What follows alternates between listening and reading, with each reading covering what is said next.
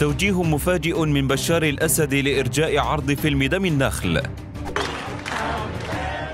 الدعاية الضخمة والماكينة الإعلامية الضخمة للترويج بحضور بشار والغناء لبشار بعيد ميلاده لم يحل دون إرجاء فيلم نجدة أنزور للتعديل عليه.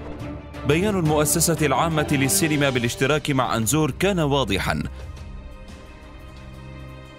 فتأجيل العرض الجماهيري للفيلم جاء بعد ملاحظات من الأسد وعائلته. الانتقادات الأشد للفيلم جاءت من أبناء الطائفة الدرزية.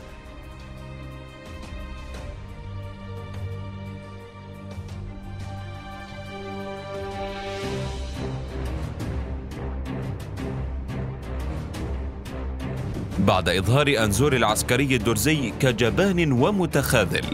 أما العسكري العلوي بطل مقدام ومغوار.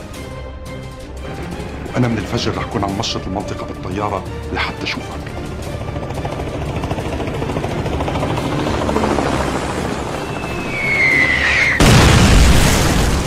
مستحيل إني أقبل بهي الظروف بخسارة الطيارة.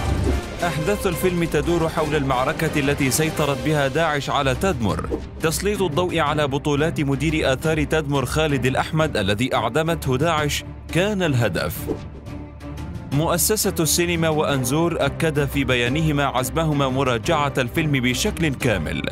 فهل ستظهر باقي الطوائف بنفس بطولة العلويين بالنسخة المعدلة؟